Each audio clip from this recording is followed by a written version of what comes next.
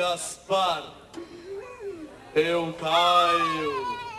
Senhoras e senhores, o Gaspar era um andarilho.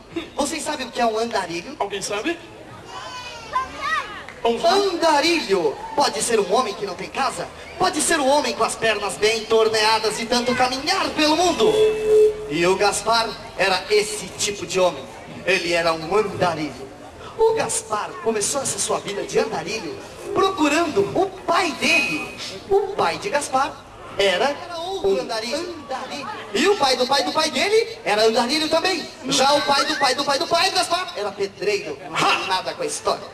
Senhoras e senhores, o Gaspar começou essa vida de andarilho, caminhando pelo mundo, procurando seu pai. Pai. Procurou seu pai nas profundezas. E, senhoras e senhores, a chuva era tão forte que dava microfonia, senhoras e senhores. Olha, trovão, minha gente. Senhoras e senhores, quando a chuva cai forte e tem barulho de vento misturado, o Gaspar começou a ouvir uma coisa esquisita.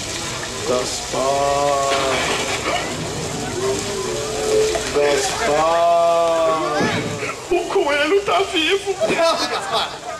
Você começou a ouvir uma voz que não vinha do coelho, não vinha do fogo, não vinha das paredes.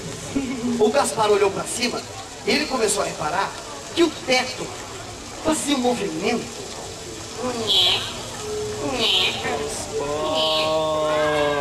Eu falei que eu tinha medo dessas histórias. Eu caio. De repente, senhoras e senhores, caiu ao lado do Gaspar um pé de caveira.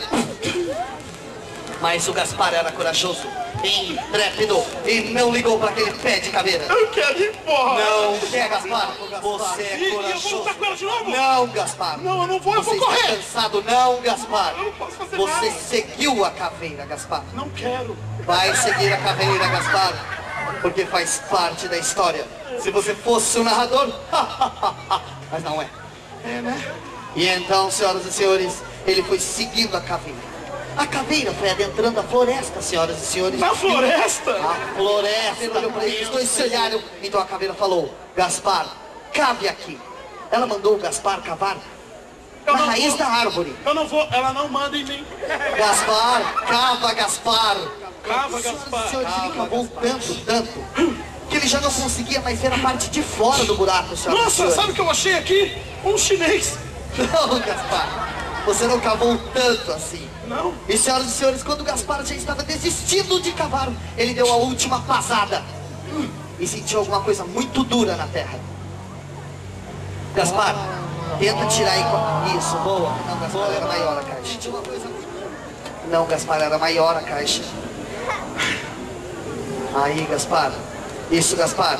O Gas- Gaspar, tá um pouco pesada essa caixa. Gaspar. Louco, né? Você é tão Traz, bonzinho. traz a caixa pro joelho, Gaspar. Põe a caixa pro joelho, vai. Aí. Isso, Gaspar. Ótimo. O banheiro mais próximo, pessoal, o banheiro mais próximo. Traz a caixa pra barriga. Pra onde? Barriga, Gaspar. Um, dois, três e... Foi. Traz a caixa pro peito, Gaspar. Isso, levanta no peito, Gaspar. Aí, Gaspar. Aí, garoto.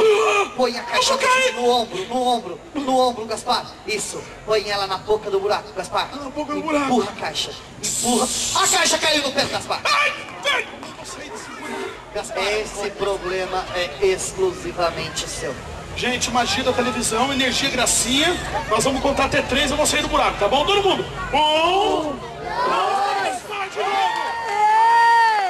O público Atenção, público. Vocês têm a sua opinião. Se foi tosco, não bate pau.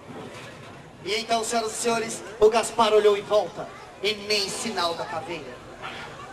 Senhoras e senhores, o Gaspar olhou aquela caixa e bateu a curiosidade. Então, senhoras e senhores, ele deu um chute para quebrar o cadeado enferrujado que tinha na caixa. É? É. Como ele é inteligente, o Gaspar, né? Um, dois, três.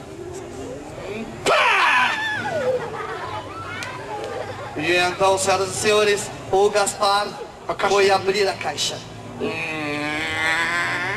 E quando ele abriu a caixa, uma luz muito forte quase queimou os olhos do Gaspar. Senhoras e senhores, a caixa estava cheia de pó. De Pó! Putz, de ouro! O quê?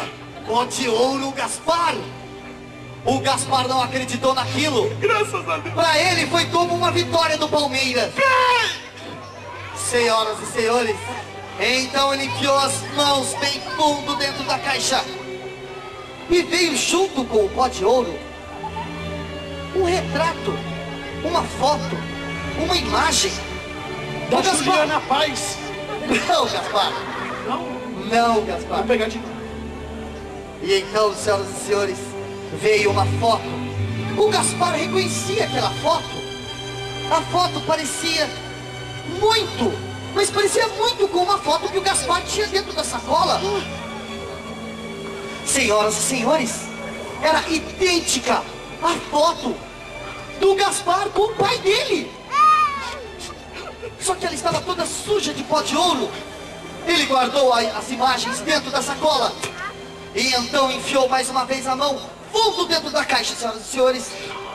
E quando ele puxou a mão mais uma vez, senhoras e senhores, veio nas mãos dele uma escritura, senhoras e senhores. Uma escritura dizendo que ele era dono, quer dizer, que o filho do Gaspar era dono de todas as terras, três dias andando para frente, três dias andando para trás, três dias para a esquerda, três dias para a direita. Todas aquelas terras eram do filho do Gaspar. Eu não conheço o filho do Gaspar. Gaspar, você lembra o nome do seu pai? Gaspar? Gaspar, você é o filho do Gaspar, Gaspar!